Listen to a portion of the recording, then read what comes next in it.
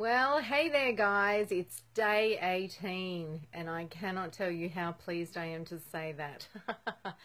um, look, everything's going along great. Everything's even. My energy's high. My thinking's clear. My creativity is flowing, and I'm just loving it. If you're thinking about doing the trio, do it.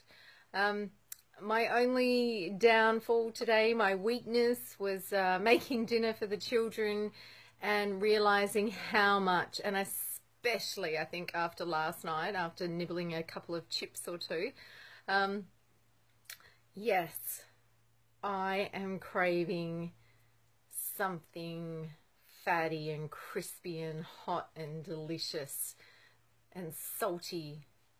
Oh my goodness. Yes, the craving is kicking in more so now than ever. And that we are so close, I think, is um, it's like, oh, we're nearly there.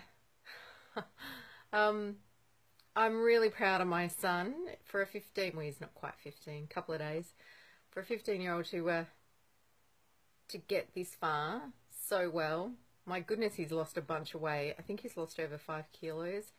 And, um, but yeah, he's stuck to it really, really well. Um, oh, and just by chance, I jumped on the, the scales today to see how that was going along. And I'm losing about 200 grams uh, each day since my last weigh-in. So that's that's kind of cool. Like plateaus at the at the first week at a loss of about three kilos and then about 200 grams each day. So I don't know if that's normal. It seems to be for a couple of people.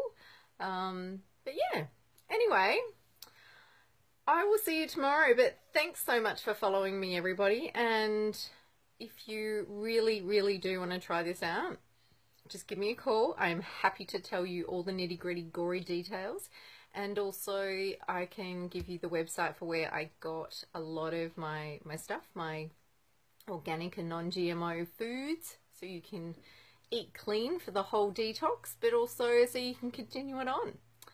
That's at um, my InnerOrigin forward slash advocate forward slash Angela Milligan.